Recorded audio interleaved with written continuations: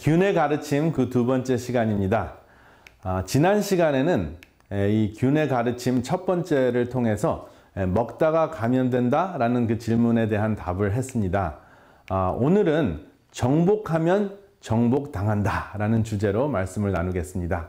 아, 세상 역사를 보면 5천년 동안 우리 인류는 항상 팬데믹에 시달렸습니다.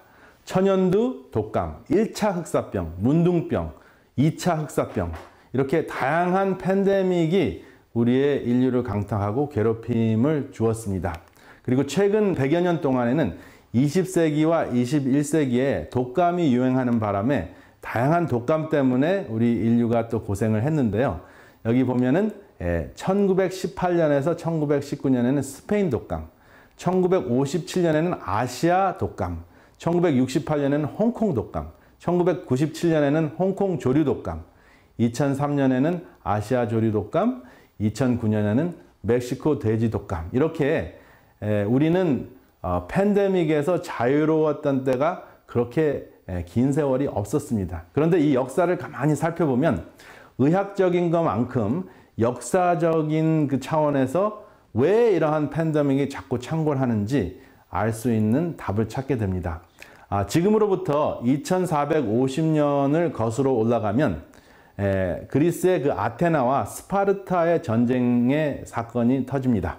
그때 전쟁이 끝났음에도 불구하고 5년 동안 계속 재앙이 일어나는데 에, 병균 때문에 약 10만 명이 사망을 합니다.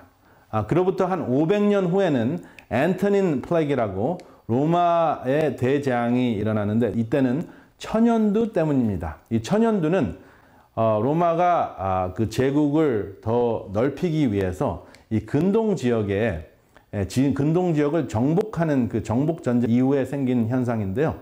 이 근동 지역을 보면은 여기 예, 터키도 있고 이집트도 있습니다. 아, 이때 이제 정복한 후에 예, 이 지역에 다녀갔던 이 지역에 정복하고 돌아왔던 병사들에 의해서 천연두가 로마로 보급이 됩니다. 그렇기 때문에 정복을 했다고 생각을 했는데 결국은 미생물에 의해서 정복을 당한 것이죠. 진정하게 성공한 전쟁은 아닙니다. 아, 그리고 이제 AD 250년을 올라가면 로마에서 또 재앙이 일어납니다. 이번에는 구체적인 증상이 있기 때문에 천연두, 독감, 또 이볼라와 같은 증상이었다는 것이 이제 규명이 됐습니다. 그래서 로마에서만 또 5천 명이 죽습니다. 역시 정복 전쟁 이후의 사건이었습니다. 이제 로마가 어느 정도 약해졌지만은 또 동로마 제국이 흥행하면서 이 동로마 제국이 또 일어나서 그 근동 지역과 아프리카 지역과 이번에는 스페인까지 정복합니다. 아, 이렇게 정복을 하고 나니까 아, 과거에는 이제 흑사병과 같은 것이 그 대형 그 팬데믹으로 일어났던 적이 역사적으로 기록이 안 됐는데 이제 제1차 흑사병이 1억 명 정도를 사망시키는 어, 역사가 이루어졌습니다. 그래서 어, 전쟁은 AD 541년에서부터 542년 정도 치루었는데 750년까지 200년 동안 흑사병이 계속 지속됐습니다. 지금 아, 코로나 바이러스가 지금 3개월, 4개월 정도 되는데도 우리가 정말 어, 못 살겠습니다. 그렇죠? 그런데 200년 동안 흑사병이 계속 지속이 됐고 1억이 사망하는 엄청난 아, 문제가 있었습니다. 아, 우리가 잊고 있었죠. 그런데 이렇게 계속 지속이 되니까 모든 그 해결책이 동원을 해도 문제가 해결이 되지 않으니까 이제 종교적인 해결책으로 이제 신부들이 그 병자들을 찾아갑니다. 그래서 신부들이 병자들에게 찾아가서 성경도 읽어주고 기도도 하고 여기 자세하게 보면 어, 환자가 화살을 맞은 환자가 예수님께 가서 어, 고쳐달라고 비는 모습 같은 그러한 그 그림이 묘사되고 있습니다. 그래서 인간의 능력으로 해결하지 못할 때 인간은 인류는 어, 신앙을 찾고 또 하나님을 찾습니다. 아, 그리고 11세기, 11세기에 들어서는 leprosy pandemic, 좀 문둥병 어, 유행병이 또 발발했습니다. 11세기, 사실 문둥병은 어, 몇천 년 동안 항상 어, 이 세상에 있었습니다. 근데 11세기에 왜 문둥병이 세계적인 유행병이 됐을까? 이제 답이 나오죠. 뭔가 또 전쟁이 있었을 것 같죠. 여기 가만히 보시면 왜 문둥병이 세계적으로 일어났을까? 또 답이 예, 나오죠. 어, 과거와 같이 뭔가 또 정복 전쟁이 있었을 것이라고 우리가 어, 생각할 수가 있습니다. 여기 정복 전쟁 어떤 정복 전쟁일까요? 그리스의 알렉산더 대왕이 인도를 정복하러 인도에 쳐들어갔습니다. 그래서 정복하고 난 다음에 다시 그리스로 예, 문둥병을 가지고 온 것이죠.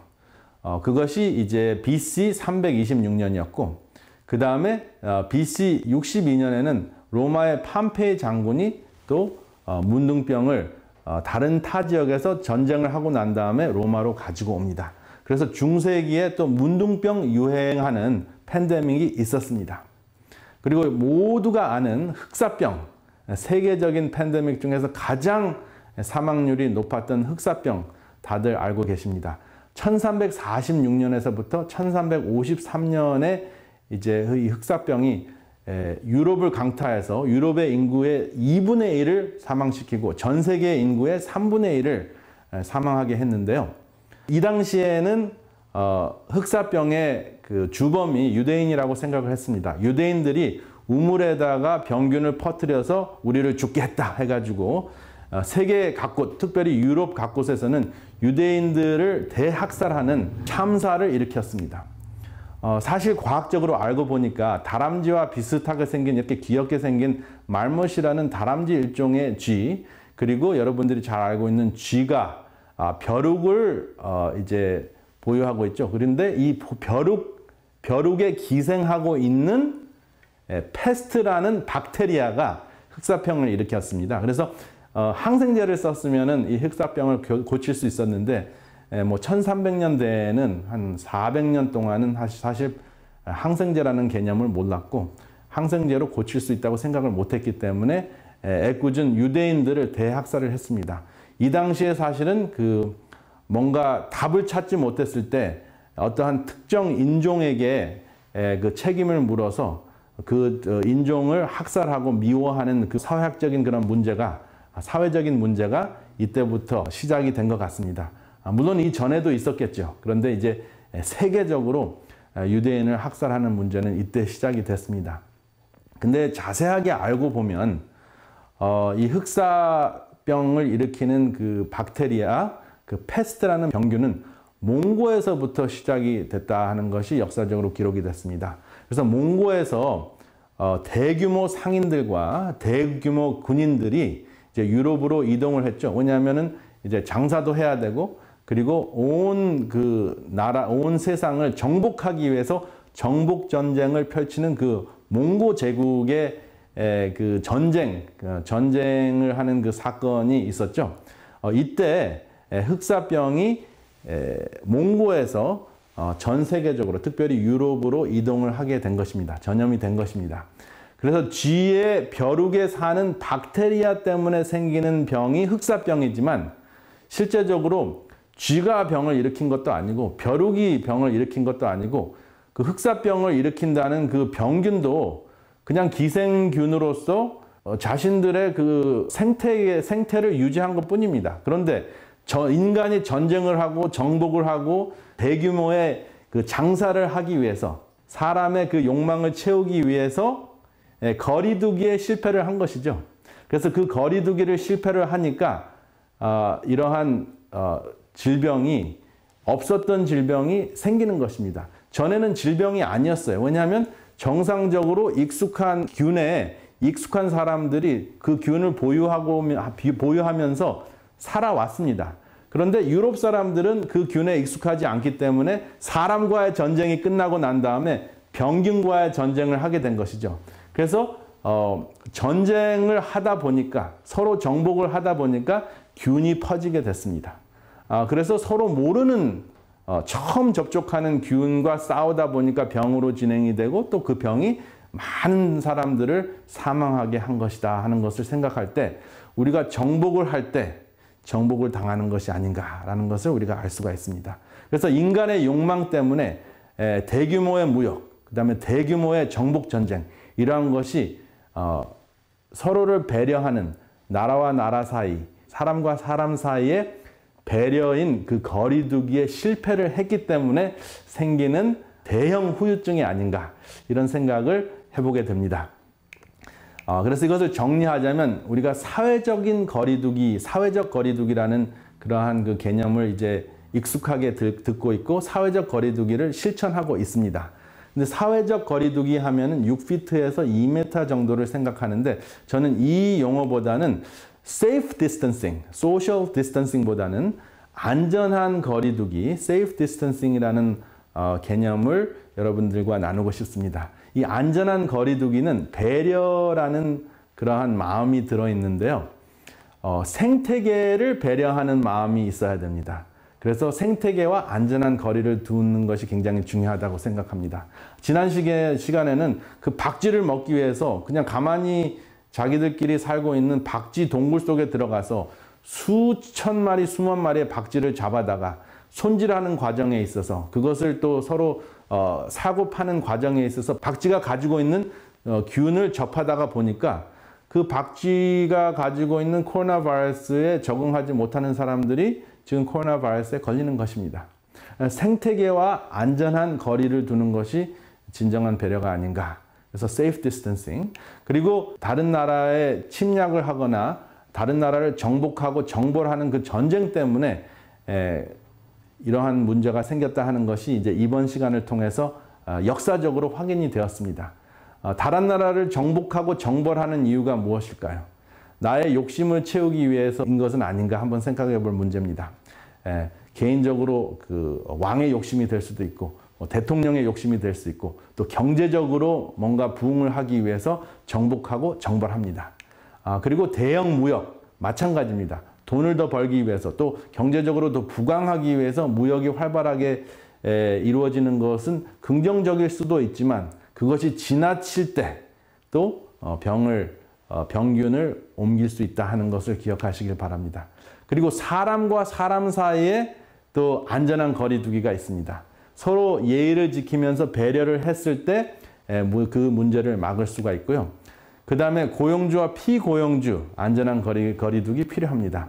서로 적절한 배려가 필요하죠. 그리고 친구 사이에도 아무리 가까워도 안전한 거리두기가 필요하지 않은가 생각이 됩니다. 이것은 물리적인 거리두기뿐만 아니라 어, 정신적인 또 어, 영적인 이러한 모든 차원에서 적당하고 적절한 거리두기, 적절한 배려가 아주 중요하다고 생각이 됩니다. 아, 부모와 자식 간에 예절을 잘 지키라고 강요를 하면서 거리두기를 무너뜨릴 수가 있습니다. 아, 그 다음에 부부 사이에도 마찬가지고 어, 그래서 이 모든 것들이 인간의 욕망과 부절제함 때문에 일어나는 안전한 거리두기가 아, 무너뜨려졌기 때문에 이러한 현상이 일어나지 않는가 생각을 해서 단순한 바이러스 병균을 피하는 사회적 거리두기가 아니라 우리의 생태계와 인간을 더 인, 류의 그 생활을 어, 더 윤택하게 하는 안전한 거리두기가 훨씬 더 어, 바람직하지 않은가 생각을 해봤습니다. 일찍이 노자 선생님은 무의자연이라는 사상을 통해서 어, 자연의 이치에 맡기면 못할 것이 없다라고 어, 이 배려의 메시지를 가르쳤습니다. 그래서 무의자연, 예, 생태계를 보존은 하되 예, 침범은 하지 않는 어, 그러한 무의자연이 굉장히 중요하겠습니다. 어, 그리고 어, 자녀를 사랑을 하되 자녀의 에, 그 삶에 침투하지 않는 아, 부모의 자세 굉장히 중요합니다. 무의자연. 그런데 이 무의자연 침투하는 이유, 그렇죠? 생태계에 침투를 하고 자녀의 인생에 침투하는 이유가 무엇일까요? 또 부부 사이에 서로의 인생에 지나치게 간섭하는 이유가 무엇일까요? 무의자연을 실천하지 못하는 것은 바로 부처가 가르친 욕망을 버리지 못하게, 못하기 때문이다. 라고 생각할 수 있겠습니다. 그리고 이 모든 것이 이제 무너지는 원인이 무엇이냐면 어, 예절은 좋은데 지나치게 예절을 강요해서 예, 중용을 깨뜨리는 것, 또 지나치게 욕심을 부려서 예, 생태계를 파괴시키는 그 중용의 가르침을 무시했을 때, 또 예의를 지키지 않았을 때 문제가 생긴다 하는 것을 감안했을 때 공자의 가르침이 굉장히 중요합니다. 예, 바이러스의 문제뿐만 아니라 우리의 많은 질병들이 대부분의 질병들이 아마 인간의 욕망과 부절제함 때문이 아닌가 생각이 됩니다. 그런데 이 모든 것은 인간적인 차원에서 어느 정도 해결책은 주지만 결국은 다 죽게 되어 있습니다. 그래서 예수께서는 영생을 궁극적인 해결책으로 우리에게 제시하십니다. 선택은 여러분들이 하시기 바랍니다. 다음 시간까지 건강하게 영육간의 강건함을 누리시기를 바랍니다. 감사합니다.